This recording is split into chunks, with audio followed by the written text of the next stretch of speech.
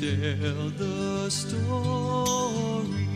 of unseen things above, of Jesus and his glory, of Jesus and his love. I love to tell the story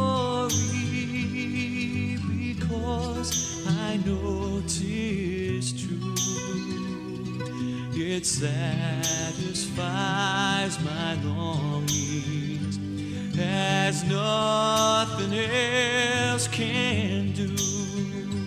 I love to tell the story,